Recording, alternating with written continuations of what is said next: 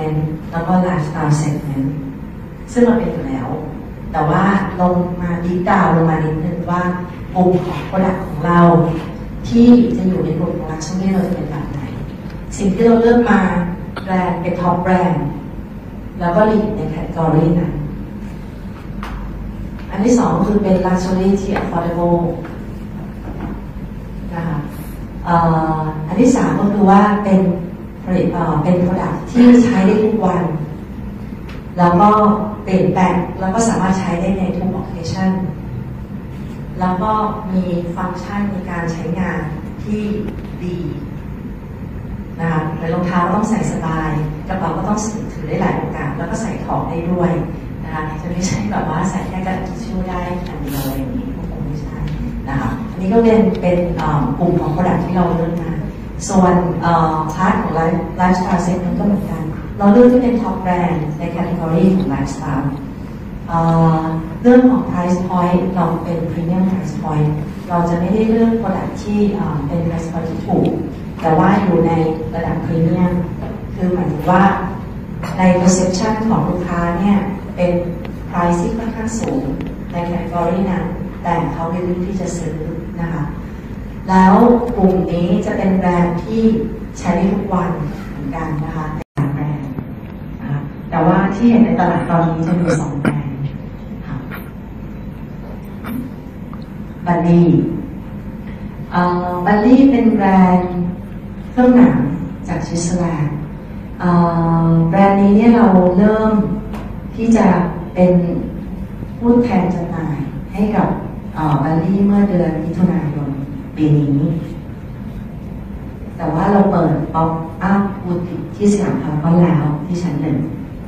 เปิดแล้วนะคะแล้วก็ได้ลองไปแล้วจากนั้นที่เราก็เปิด pop-up ของคอนเนอร์ขึ้นที่สยามดิสคัฟเวอรี่ชั้น Mเปิดสองจุดตั้งแต่เดือนมิถุนายนมาจนถึงตอนนี้ค่ะ เรามี POS เปิดเวลาสองที่นะคะ เสร็จแล้วเราก็จะเปิด flagship ของ flagship store ของ Bally ที่ไอคอนสยามเดือนหน้าวันที่9 November นี่ก็จะเปิดศูนย์ใช่ไหมคะ ก็ Bally ก็จะเสร็จแล้ว แล้วก็จะเป็น flagship store เป็น strategic เป็น strategic store ของ Bally ใน Southeast Asia ด้วยสำหรับแบรนด์นี้เนี่ย เรา represent แบรนด์ แล้วเราได้ contract ในการ ทำ distribution ให้กับแบรนด์นี้ใน domestic ในบุติกแล้วก็ shop shop B2B B2B ก็คือขาย corporate คือ corporate ค่ะ แล้วก็เอาเล็กด้วย อันนี้เป็น contract ที่เราใส่ไปนะคะแบรนด์ที่สองคือ LAMYลามี่เป็นแบรนด์ปากกา แต่ว่าเขาไม่ใช่แค่ปากกาแบรนด์ลามี่เขาไม่ได้ขายที่ ฟังก์ชันที่เขาเป็นปากกาแต่จริงเขาเป็นแบรนด์ปากกาที่เยอรมันคุณภาพดีทุกคนอาจจะพอทราบนะคะสมัยก่อนนี่มันก็คือพวกอาร์ติเทคหรือว่าอินเจเนียร์ก็ใช้ปากกานี้ในการออกแบบ แล้วก็ทำงาน แล้วเขาก็มีดีไซน์เฉพาะตัวของเขาแบรนด์นี้เป็นแบรนด์เป็นแบรนด์ architect ค่ะเพราะฉะนั้นเนี่ยดีไซน์ในเรื่องของ product ดีไซน์ในเรื่องของ merchandising แล้วก็เรื่องของรูปแบบร้านเนี่ยเป็นอะไรที่แตกต่าง และโดดเด่นออกมามากถ้าเทียบแล้วเขาเป็น lead category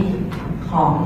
writing instrument ที่ว่าได้ใน part ของที่เป็นพรีเมียม เพราะว่าเราอยากจะทราบว่าตลาดของที่เป็น stationery ที่ผ่านมานะคะก็ตก แต่ว่าด้วยรามีแล้วก็มองมองทำให้ตลาดของ stationery ตอนนี้ใน global มี growth เพราะสองแบรนด์นี้เป็นตัวลีนะคะเขาไม่ได้วาง position เขาเป็นปากกา เพราะฉะนั้นเนี่ย distribution ที่เขาต้องการในเมืองไทย เขาไม่ได้ต้องการที่จะอยู่ใน stationery นั่นคือโจทย์ที่ DKSH ได้มา เพราะฉะนั้นสำหรับแบรนด์นี้เขาเชื่อถือ DKSH มาก เราเป็น sole distributor ให้กับ LAMY sole distributor นั่นหมายความว่าอะไร คือเราทำตลาด domestic retail ทั้งหมดนะคะ travel retail ด้วย land duty free ด้วย ช่องทาง duty free ด้วย แล้วก็ B2B wholesale ออนไลน์รวมทั้ง communication ของออนไลน์ด้วยเสร็จเลย Bellroy Bellroy เป็นแบรนด์มินิมอลแล้วก็เหมาะกับคนกลุ่ม millennial นะคะเขาเป็นแบรนด์ดีไซน์ที่สนใจในเรื่องของ detail การใช้งาน ฟังก์ชันมากๆคือเป็นฟังก์ชัน usage มากๆเอ่อเขาสตรองในเรื่องของการผลิตกระเป๋าหนังนะคะที่บางก่อนก่อนแรก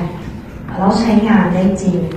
ยิ่งใช้ไปนานยิ่งสวย อันนั้นคือข้อเด่นของเขาเขาเป็นบริษัทใหม่ที่เพิ่งเกิดนะคะไม่ไม่ไม่เกินสิบปี